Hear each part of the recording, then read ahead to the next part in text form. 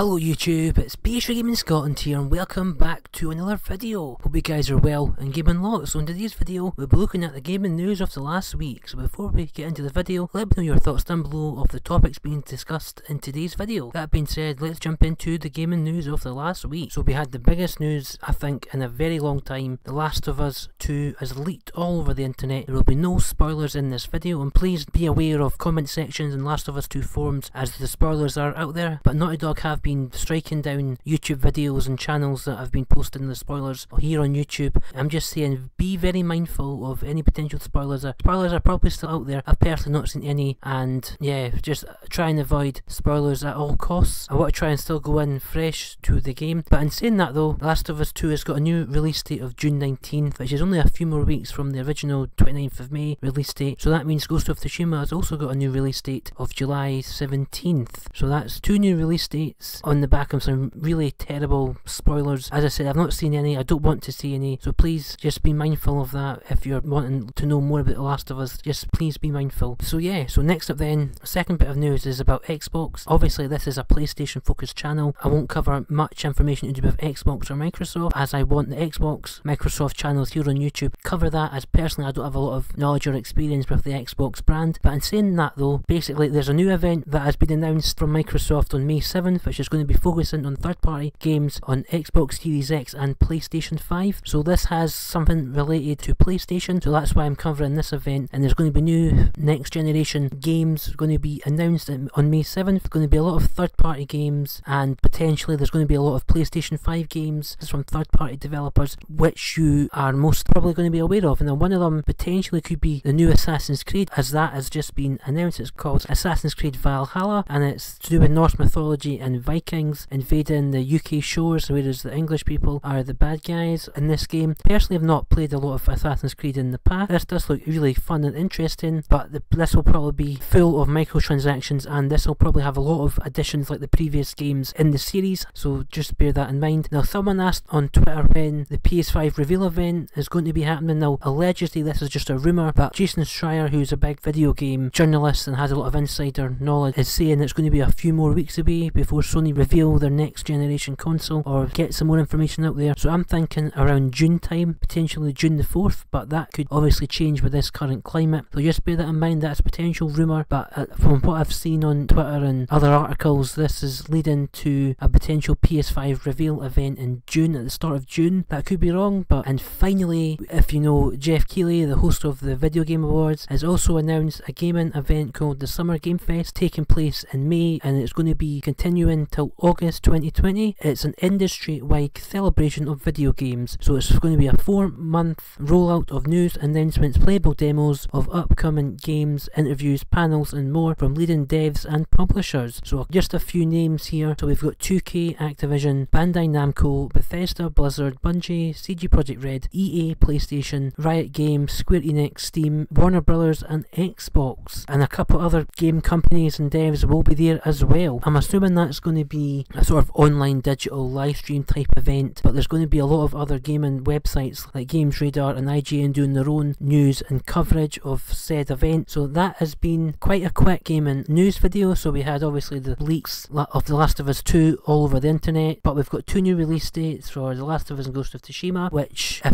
I think I've mentioned it, but just to be aware, so the new release date for The Last of Us 2 is June 19th, and the new release date for Ghost of Tsushima is July 17th. We've obviously got the new Assassin's Creed Valhalla announced for PS5, PS4, Xbox Series X and Xbox One. Xbox new event on May 7th focusing on third party games for Xbox Series X and PS5. Sony's event is going to be hopefully in a few more weeks, potentially at the start of June. A lot of people online are saying June 4th, but that could change obviously with the current climate. And Geoff Keighley, the host of the Game Awards, is making their own event called the Summer Game Fest running from May to August, and it's going to be showcasing four months of news announcements, playable demos, games, interviews, panels, and more from all the big publishers and gaming companies. So let me know your thoughts down below. This video will contain no spoilers of The Last of Us 2. Please don't spoil it in the comment section for other people that might want to watch this video. Please don't, or I'll have to go in and delete the comments or what have you. But because I want to go in fresh, and I'm sure a lot of other people want to go in fresh. But anyway, guys, let me know your thoughts of the topics being discussed in today's video. That being said, that is the end of today's video. Thank you very much indeed for watching. I've been PS3 Gaming Scotland, and I'll see you on another video. Thanks very very much indeed, guys. Bye bye.